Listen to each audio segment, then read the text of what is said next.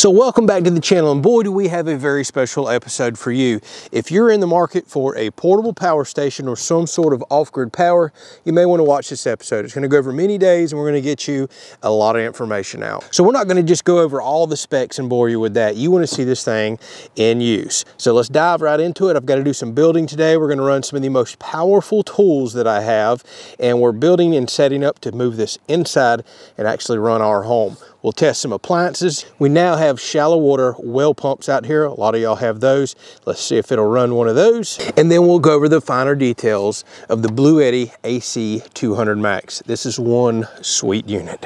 All right, so today we're going to be testing the AC200 Max from Bluetti. This is kind of their mid-size unit at 2200 watts. I really like the way this new unit looks and performs. So it's got an LCD touchscreen. I do wish that was a little brighter for outdoor use, but it's adequate for indoors. We'll go over some of the positive and negatives here at the end of the video, but it is quite responsive. It is nice using the touchscreen. They also have a phone app that works well. So on the right hand side, I'm happy to see a TT30P, a travel trailer plug on a unit this size. That's a very powerful plug and how you get your full 2200 watts. Over here on the left hand side, that is a 30 amp 12 volt output. So all my RV people, van people, travel trailer people, that's an important plug. We'll discuss it a little more. You got 10 amp 12 volts, a cigarette lighter, and two 5 amp barrel plugs right here. You've got a 100 watt fast charge USB-C, two fast charge USBs, and your standard USBs right there. Plenty of way to charge all your different devices. And up there on the top right is your 20 amp for household type plugs. So moving on right here, it also has two wireless charging pads up top for your phones. This is on the side of the unit. You can add two additional batteries. I'm so happy to see that on units in this power range. So we can expand that. We're going to talk about that more a little later as well. And on the bottom left down there, you see the DC input plug.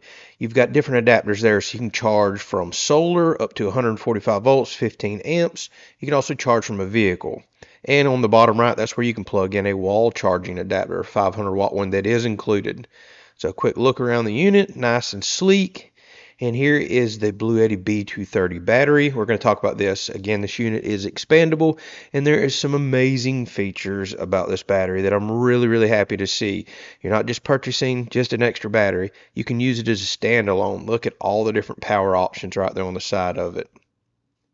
So here we are running some tests. I just fired up my table saw right here. That's a 15 amp table saw. And you see that we're running a little over 700 watts on the screen right there.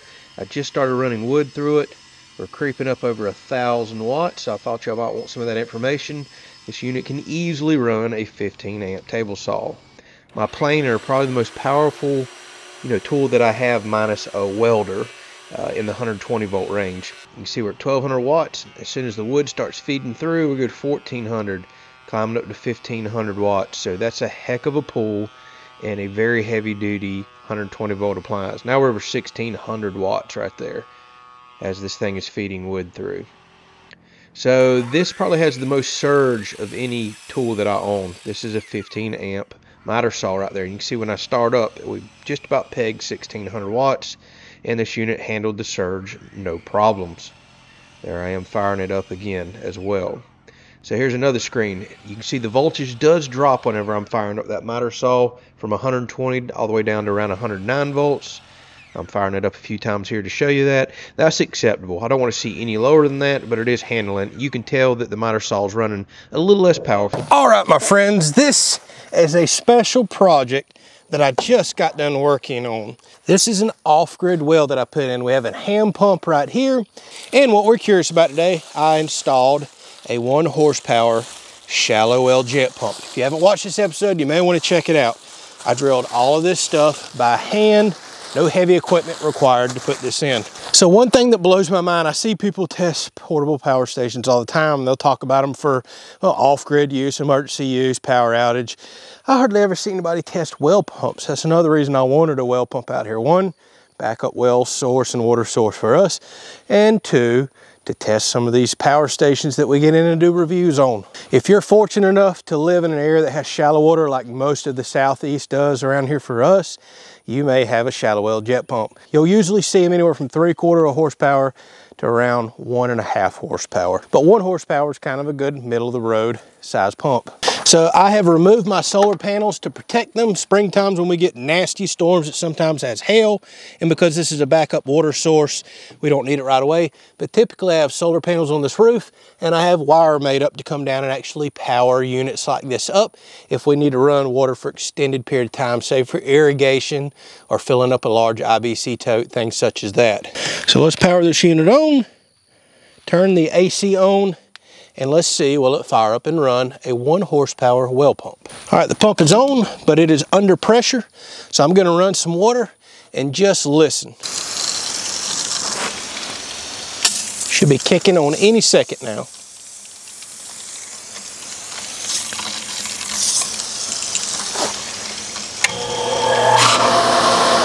Started it up, no problem. Let's see how much power we're pulling. 908 watts. But it's the initial surge that well pumps have that typically trip out most units. I don't know if you can see that, it's mighty bright out here. 888 watts right now, output. That's awesome. So we can very, very easily run a one horsepower well pump as long as it's 120 volts. All right, so it's a beautiful sunny day here in Florida, and I thought this would be a good time to do some solar power testing here. Behind me is a home-built solar array. We have 1,200 watts, so 12 100 watt panels here. I have six of them wired in series, and then ultimately these other six are wired in series as well, and they're paralleled together. So we're doing that to control how much voltage and how much amperage we're sending to our units. Now with portable power stations, the big difference between them and the nice big on-the-wall inverters is you have to be very careful on how much voltage and amperage you send. A lot of people just get it in their head, hey, we can send X number of watts. That's just not the case. You're gonna to want to monitor that voltage and amperage. And that'll make for sure that the unit itself doesn't cut off or have any potential damage, which I have noticed a lot of these units are so smart. If you send too much in, they just tend to cut themselves off. So let's go inside and test how much solar power we can put in right here. We're gonna be right at the limit of what this will take, at least voltage wise, out of my system. And let's also test the in-wall power charging. All right, so excuse my messy shop. Actually, by the time you're watching this, there is a very special area being built right here here just for testing devices like this. But it just so happens this is where my solar power cables come in and I do all my tie-ins to say a manual transfer switch. So the first thing I want to test, let's see what the open circuit voltage is coming in from the panels outside and let's make for sure that we're in the proper range. We're currently showing 134.8 volts. Now that's open circuit, we're not connected to anything. This unit claims it can handle up to 145 volts. All right, so Bluetti provides a cable that plugs right into the side to their DC input, as well as an MC4 connector cable. Let's go ahead and power the unit on plug this in and make sure everything kicks on correctly. Again, 134 volts, this is ready to take up to 145. All right, we're plugged in. Let's see what kind of power we're bringing in. And we're gonna test the in the wall charger. All right, so first and foremost, now with the solar and the AC power adapter both plugged in and running, I want to say it's still probably the most quiet unit I've ever tested. If fan noise is a concern of yours, well, this thing is quiet. I'm only hearing the fan off of this right here. Still don't even hear the fan running on the solar charge controller in here. So take a look at this. Bluetti claims 900 watts maximum solar input. You can see we're maxing it out at 917, 918. And it says 500 watts input from the wall. We're getting close, 487. But if you add those two together, well, we're at the full 1400 watt maximum capability of this unit. So it's 2,048 watt hours. With this much power coming in, I mean, you're talking charging this thing in a little over an hour, hour and a half, and you're ready to go at these rates.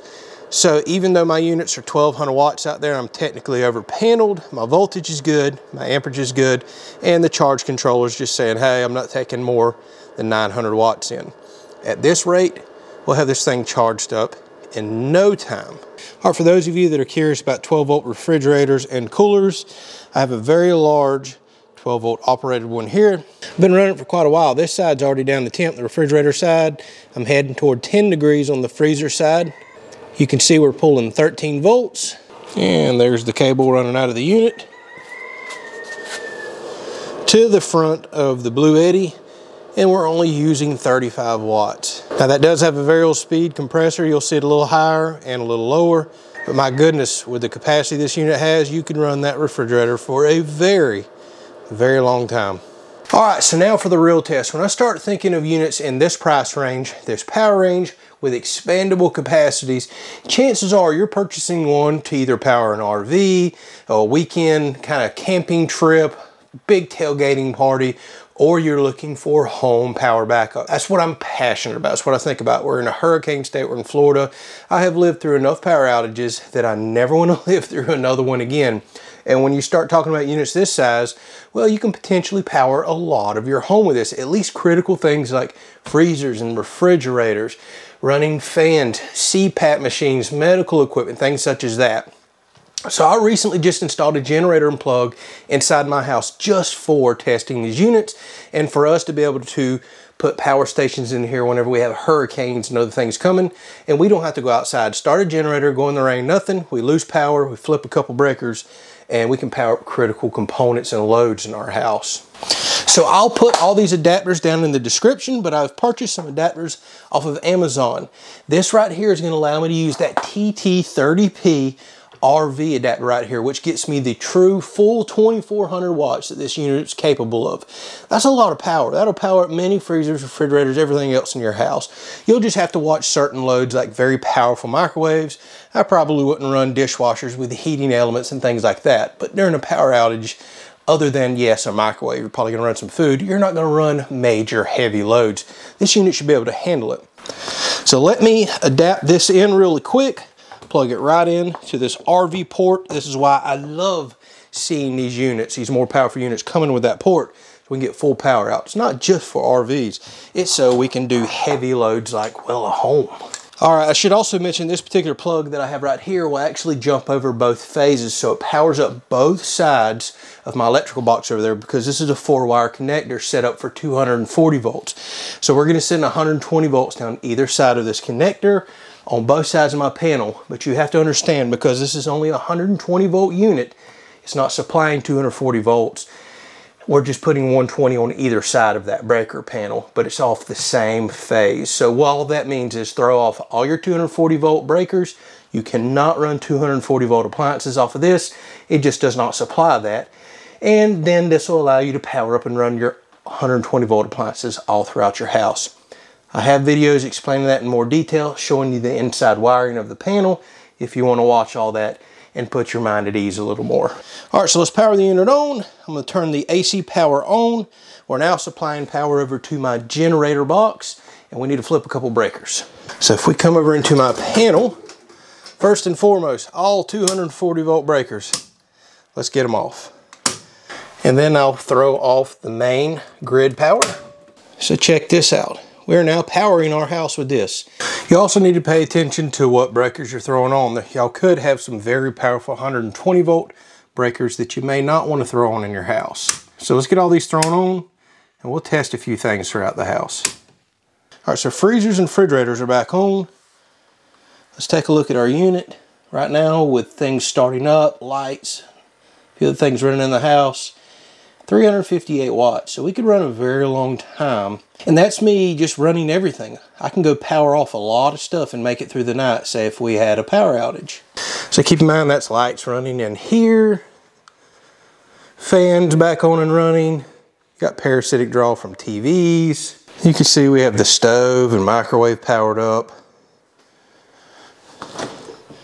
Refrigerator's also on. Got little greenhouses growing, security system powered up, an outside mini fridge. This unit also shows your voltage. We're staying right at 120, that's great. 60 hertz, that's extremely important. And what is so nice about these units, all clean power, so it's safe for medical equipment and computers. Speaking of that, I have my computer and Wi-Fi routers, everything else plugged in upstairs. None of that stuff has been disconnected. And we're leveled out at 340 watts. All right, so let's see if we can power this on. This thing pulls a lot of power. It's huge. Yes, it will. All right, so this is the first time I've heard the fan kick on this, but look, we're pulling 1,873 watts. That's a tremendous amount of power. But now you can hear the fan running. All right, so I just did a quick test to show you the powers of these types of units. Now we need to step back out to the shop and let's talk about the battery and the expandability of this because think about this particular scenario right here. So the allure of these types of units to me is they're plug and play as they can get. Look, one cable, Connect solar up, you're done. There's no charge controllers to wire up. There's no inverters, nothing.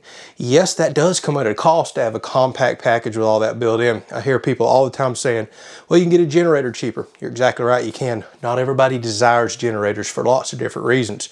Or some people say, hey, you can put the big on-the-wall systems and rack systems that are more powerful and maybe even less money. That's also exactly right, but then you're hiring an electrician if you're not comfortable doing it yourself, and you have to have room dedicated for that that. Different strokes for different folks, as I say. Not one system fits everybody correctly. I personally don't care what you get, as long as you have some sort of backup. In today's world, we just have too many things constantly taking our grid down. I want to protect stuff like my food. I want to be able to charge my phones. I want lights. I want a fan. Some of y'all want to run medical equipment.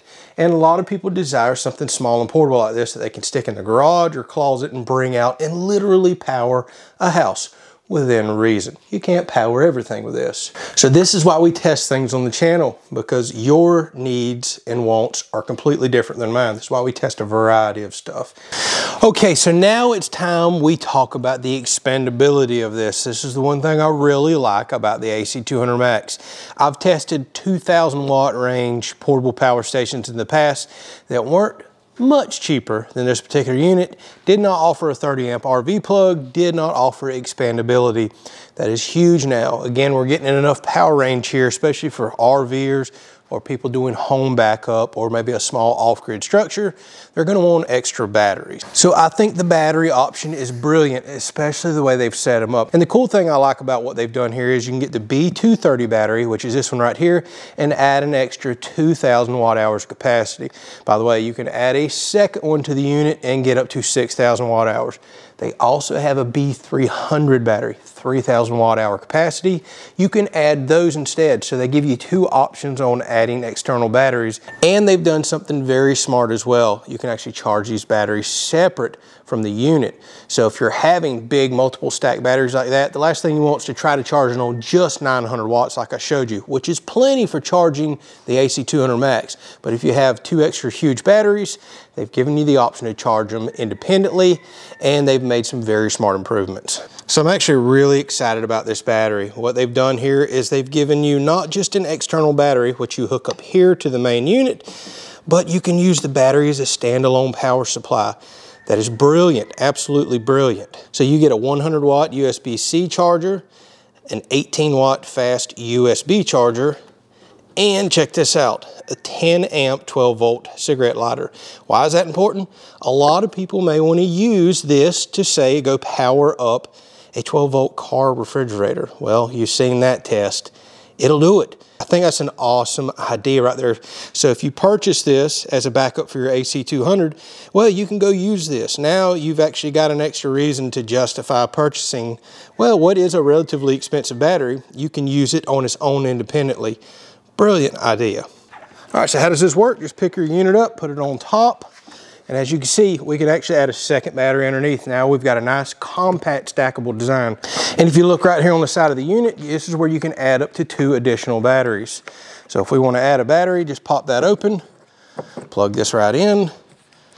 Let's lock it so it can't come back out and do the same thing on this battery bank down here. So now if we come up to our main unit and hit the battery, look, it already recognizes the second battery which is fully charged. And I have verified while this unit charges, it does charge the secondary battery. I believe when these first come out, they didn't offer that option. I'm very happy to see that has been improved upon. Now, one gripe I can say that I have, I do not like how this cable sticks out. This is kind of all intrusive and in the way. I can think of like people putting this in small compartments in RVs or campers to where this isn't gonna work out.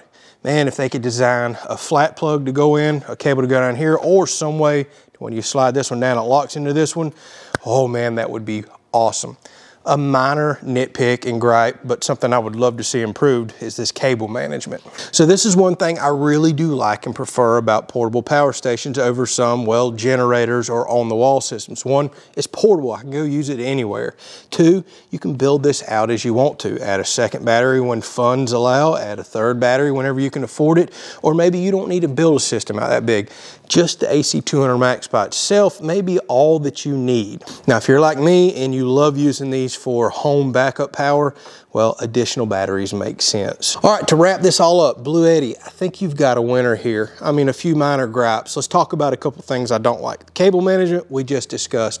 LCD screen, if we could get that a little brighter to see out in the sunlight is something I would love to see improved. Internal charging, so I don't have to carry the brick around, would love to see that in a future model. Maybe a little bit stronger. Of course, 500 watts is plenty for just this unit. 500 watts is starting to lack whenever you have multiple batteries connected, but you can can purchase an additional charger and charge the battery. So that kind of nullifies that. So one other feature that's lacking that I would love to see on this unit is a UPS or uninterrupted power supply. So long story short, say if you were to leave this at a vacation home or off-grid cabin, have your security equipment hooked up to this, internet, things such as that so you can monitor your place. You could essentially leave this plugged into the wall to charge and should you lose grid power, it would instantly swap over and power up whatever's plugged into the front and then run off of battery power only.